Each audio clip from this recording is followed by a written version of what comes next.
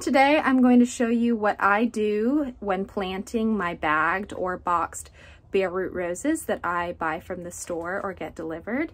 It is the very end of an unseasonably warm February and my bare roots that I've purchased are actually already leafing out and so I want to go ahead and get them in the ground. Here are two that I'm going to start the planting process of today.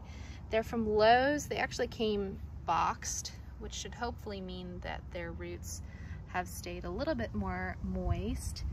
They're both Sweet Mademoiselle, which I was very excited about getting to purchase this year for 20 bucks. Uh, it's a great rose from what I understand, so very excited to see uh, how it does this year.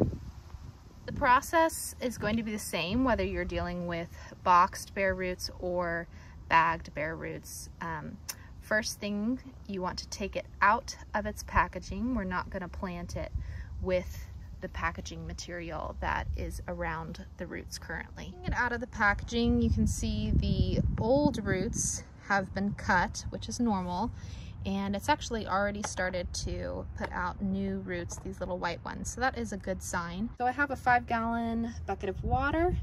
I'm going to place my bare root rose in and I'm going to let it soak for a few hours. Um, don't have to overthink it too much. It'll be fine if you soak it for overnight or even a day. I've heard of some people soaking for longer than that, but I'm gonna shoot for planting tomorrow morning. Okay everyone, it is morning time. I've been soaking my bare roots overnight. I have some compost and I have my holes. So for planting bare root roses, you wanna have your holes be at least 18 inches wide and deep. You want enough of um, space to fill in with some good compost. So audio quality was not great on this clip, so I'm just going to voice over. So these bare roots were own root, but when we're planting, whether own root or grafted, which you could tell if it was grafted because it would have a bulge where the canes meet in the middle and then it would thin out to kind of a long stick. We want to plant the soil level at least halfway into that bulge where the canes meet.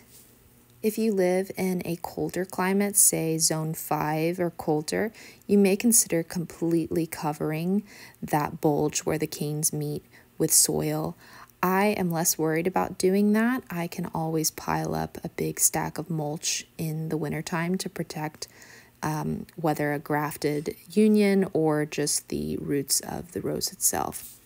When placing your rose into the hole, you're going to line up the very top of the hole with the point that you want to cover up with soil. So this is the compost I'm using. Um, it's a manure-based compost, but uh, just whatever you can find at your local garden center, I'm sure would be great. So I'm going to take a couple handfuls and fill in the bottom of my hole.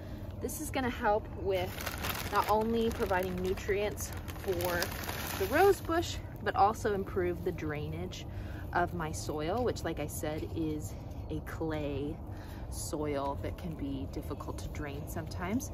So having that compost is really gonna be beneficial. So I'm gonna take some of the regular soil, kind of mix it in, and then make sure that we're lining up that point with the top of the hole, like I mentioned earlier. So let's go ahead and fill it in and I'll walk you through once I'm done.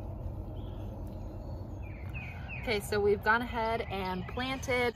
You're going to want to make sure before you plant that you aren't digging into super duper dry soil. So I would recommend watering in your planting hole uh, before you place the rose. You might do it a few hours in advance to let the water drain completely. All right, so now we're gonna water in our rose bush. You wanna make sure that you get the water kind of all around your planting hole. Don't have to water, worry about watering it too much. You want it to be nice and well watered. Thanks for watching and hope you guys found some helpful information in this video. If you did, uh, please give this video a like. And if you're not already subscribed to my channel, please do so you can uh, see more helpful gardening videos in the future. Happy gardening!